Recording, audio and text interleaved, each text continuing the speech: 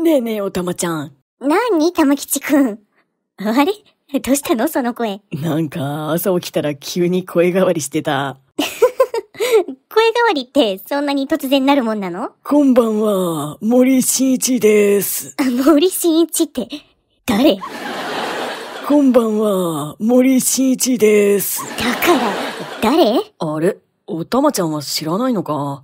うちの親、風邪で声が出なくなると、いっつもこのパターンだから。つまり、その、森進一さんという方のモノマネになるってことですね。ピンポーン。で、玉吉くんも風邪ひいたってわけか。寒かったり暑かったり、くるくる温度が変わるから、それでかな。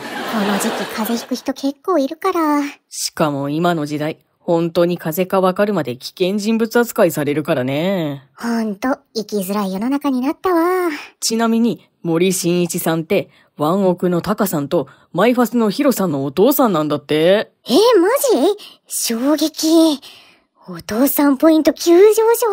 玉吉くん、もう一回やって。こんばんは、森進一です。って、お金取るよ。なんか、玉吉くんのって、コロッケっぽくない？おたまちゃんも知ってるやないかーい。チャンネル登録お願いします。